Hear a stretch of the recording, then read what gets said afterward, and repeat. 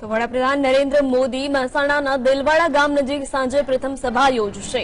તો ત્યારબાદ by road Modi Modhera ગામની મુલાકાત કરશે, જો કે પ્રજા માટે આ સમય દરમિયાન રોડ બંધ રહેશે.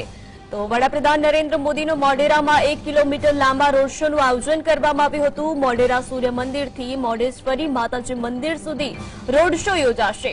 રોડ શો બાદ મોઢેરા સૂર્ય મંદિરમાં લાઇટ એન્ડ સાઉન્ડ શોનું વડાપ્રધાન નરેન્દ્ર મોદી લોકાર્પણ કરશે. તો દેલવાડા ગામ પાસે એક લાખ લોકો બેસી શકે તેવો ડોમ તૈયાર કરાયો છે. ત્યારે વડાપ્રધાન મોદી મહેસાણા જિલ્લાને ત્રણ કરોડના વિકાસ કામોની ભેટ આપશે. તો આ પ્રસંગે સાત જિલ્લાના લોકો સભામાં હાજર રહેશે.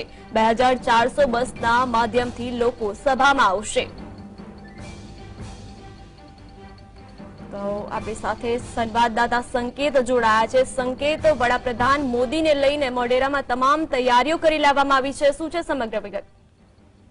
જો અત્યારે હાલ વાત કરવામાં આવે મહેસાણાના મોઢેરા ખાતે હાલ પીએમ આવનાર છે સમી સાંજે. તે સમી સાંજે આવતાની સાથે જ હાલ સમગ્ર મોઢેરા ગામ સહિત દિલવાડામાં ભારે ઉત્સાહનો માહોલ અત્યારે હાલ જોવા મળી રહ્યો છે.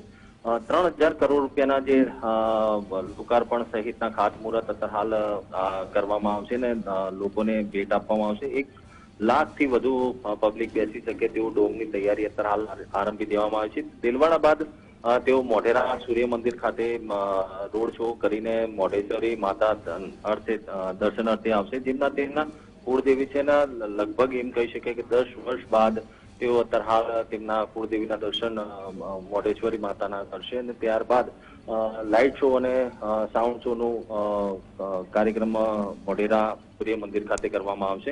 અને જેનું પણ લોકાર્પણ કરવામાં આવશે તેવું અત્યારે હાલ જાણવા મળી રહ્યું છે.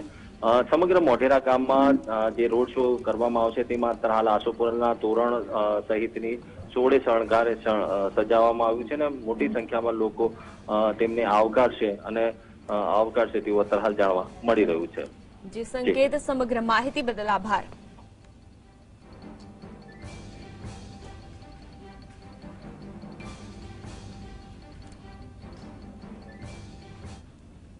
તો મહેસાણાના મોઢેરામાં વડાપ્રધાન નરેન્દ્ર મોદીના આગમનને લઈને સ્થાનિકોમાં ભારે ઉત્સાહનો માહોલ જોવા મળ્યો. ઘરે ઘરે કંસારના કાર્યક્રમોનું આયોજન કરવામાં આવ્યું છે. સાથે સાથે દરેક ફળિયામાં રંગોળી સ્પર્ધા સહિતના કાર્યક્રમનું પણ આયોજન કરવામાં આવ્યું છે.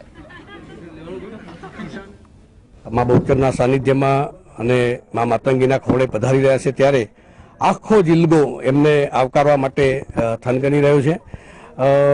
ખાસ કરીને મોઢેરાની વાત કરીએ તો મોઢેરા આખું ગામ એ પાછલા બે દિવસથી ગઈકાલે આજે સતત એમની આતુરતાથી રાહ જોઈ રહ્યું છે. ગઈકાલે ઘરે ઘર સાંજે દીવા પ્રગટાવીને દિવાળી જેવો માહોલ મોઢેરાએ કર્યો. ઘરે ઘરે આસોપાલવના તોરણ બાંધ્યા છે.